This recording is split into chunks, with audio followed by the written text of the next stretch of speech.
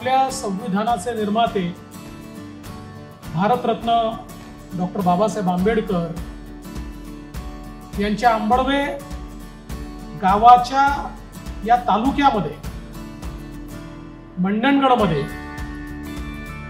या ठिकाणी न्यायालय नव्हतं आणि ते न्यायालय होत आहे आणि त्याच्या उद्घाटनाला आणि भूमिपूजनाला उपस्थित राहता येत आहे ही खरोखर एक भाग्याची गोष्ट आहे असं मी समजतो. या संविधानाने ज्या शेवटच्या व्यक्तीचा विचार केला आहे ज्या समानतेचा या ठिकाणी विचार केला आहे इक्विटीचा विचार केला आहे इक्वॅलिटी ऑफ ऑपॉर्च्युनिटीचा विचार केला आहे या सगळ्या गोष्टी आज घडताना दिसत आहेत आणि त्यामुळेच भारत निरंतर प्रगती करताना आपल्याला पाहायला मिळतो.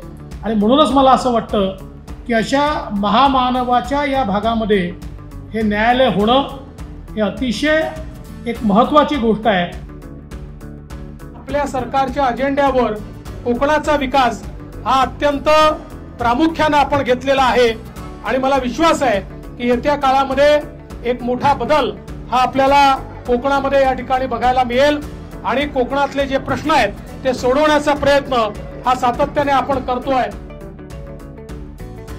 मैं सबसे पहले कैलाश जी का, रमेश जी का और आकाश जी का बहुत बहुत अभिनंदन करना चाहता हूँ, उनको बधाई देना चाहता हूँ कि इंदौर के इतिहास में सबसे बड़ा हेल्थ चेकअप कैंप आज उनके तत्वावधान में इंदौर में संपन्न हुआ है और मैं ऐसा मानता हूँ, ढाई लाख घरों में स्क्रीनिंग करना, ये भी अपने आप में एक रिकॉर्ड होगा और इस रिकॉर्ड को तैयार करने के लिए मैं आपको बहुत बधाई देता हूँ।